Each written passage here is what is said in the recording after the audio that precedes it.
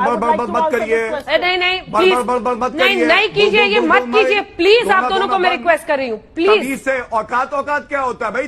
तुम्हारी क्या औकात है? जमानत जब्त पत्रकार।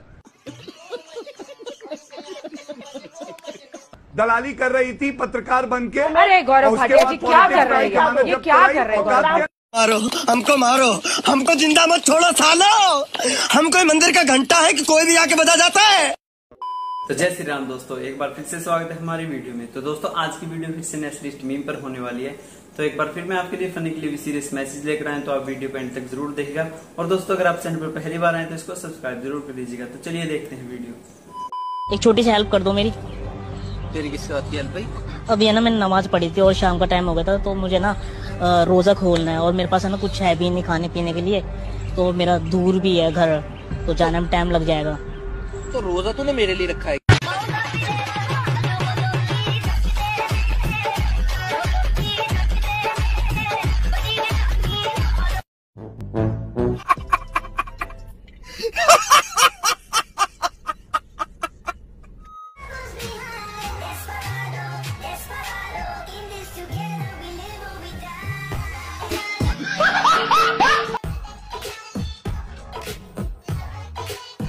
वाह दीदी वाह दीदी नहीं नहीं दीदी वाह दीदी गांधी फैमिली ये अपने आप को बॉर्न राजा मानते हैं इस देश का। राहुल गांधी इनका बस चले तो क्राउन लगा लेंगे। इनसे मिलने जाओ तो कहते साहब बिज़ी है। तेरी किसी राज्य में सरकार नहीं तू कहाँ बिज़ी है? तुम्हारी किसी राज्य में सरकार हो तो तुम बिज़ी हो तो हम मान लें तुम्हारी किसी राज्य में सरकार नहीं राजस्थान में है। एक दो राज्य में और होगी तुम कहाँ बिज़ी हो? प्रधानी का चुनाव तुम जीतोगे नहीं। बिज़ी। भैया, बिज़ी। दिल्ली नहीं डूबेगी, क्योंकि उसे बचाने वाले का नाम हज़रत निजामुद्दीन है।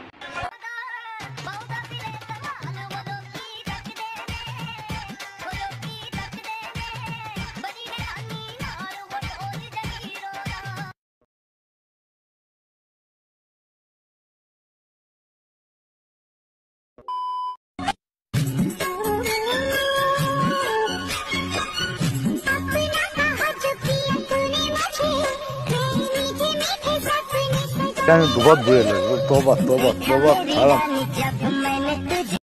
वो कौन से जानवर हैं जो जन्नत में जाएँगे? चंद जानवरों के नाम बताइए।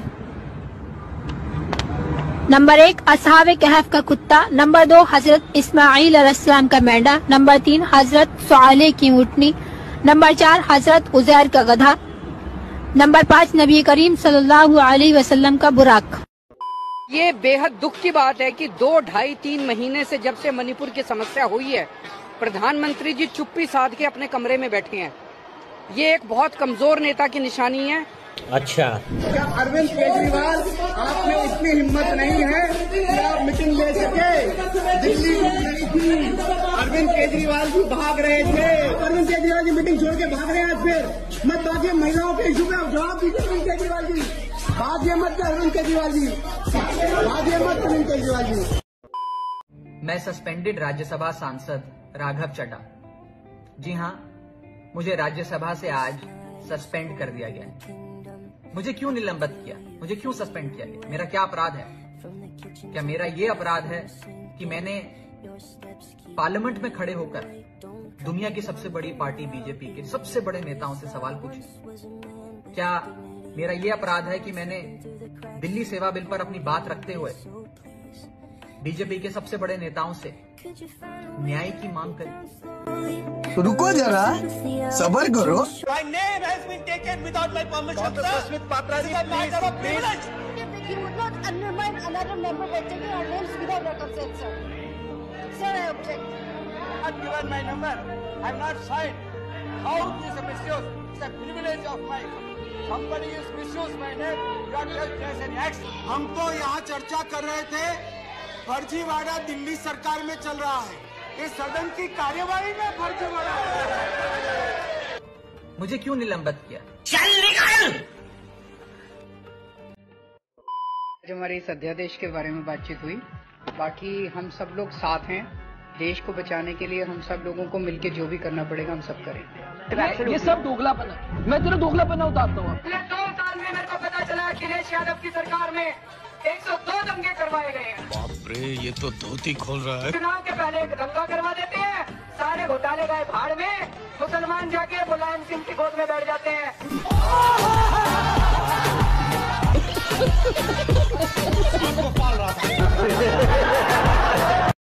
शाहबुद्दीन साहब मैं एक बात नहीं समझ पाया। आज के समय में मामला होता तो माना जाता कि ज़मीन की तंगी है हर जगह। क्या? महँगी भी है। जिस वक्त औरंगज़ेब था उस वक्त तो ज़मीन ही ज़मीन थी। क्या? हज़ारों हज़ार एकड़ सब खाली थी। क्या? नहीं। आबादी कम थी ज़मीन तो इस इससे ज़्यादा थी उस वक्त भारत के पास।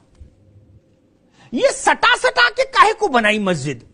मैं नहीं समझ पा रहा। मथुरा में भी अलहदा नहीं बना सकते थे। और बनारस में यहाँ चढ़ा के मस्जिद बनाने से बेहतर ये सुझाव क्यों नहीं औरंगज़ेब को किसी ने दिया कि मुस्लिम आबादी जहाँ है, वहाँ बना लो, ज़िले लाई। वहाँ कम से कम चैन से आदमी नमाज़ तब भी पढ़ेगा। नहीं। इस इलाके में तो मुस्लिम आबादी है नहीं।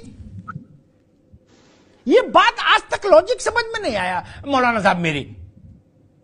ना प्रॉपर्टी डीलर थे ना चकबंदी थी ना हदबंदी थी ना ज़मीन का रेट हाई था। चढ़ा चढ़ा काहे को बनाई जब ट्रेन खाली होती है तो सब लोग एक एक सीट पे अकेले बैठते पैर फैला के। नहीं एक ही की गोद में चार क्यों बैठो? Hey, y'all, come look at this. मेरे पास अभी कुछ दिन पहले कोई आया था बीजेपी वाला। वो कह रहा था या तो तुम भी बीजेपी को सपोर्ट कर दो, और नहीं तो या तो तुमको झुका देंगे, और या तुमको तोड़ देंगे। मैं उनको कहना चाहता हूँ कि इस दुनिया में कोई माई का लाल पैदा नहीं हुआ। दुनिया में कोई माई का लाल पैदा नहीं हुआ जो केजरीवाल को झुका दे या केजरीवाल को तोड़ दे।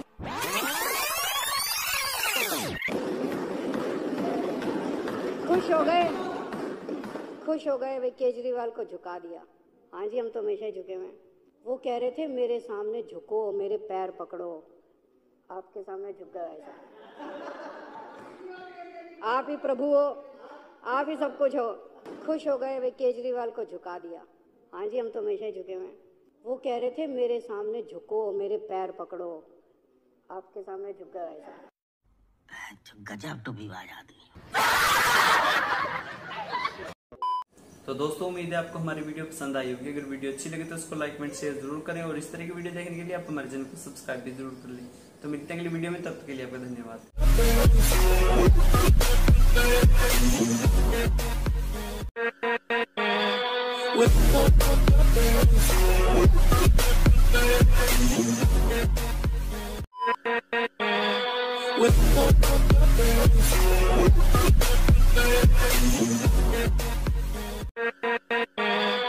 We'll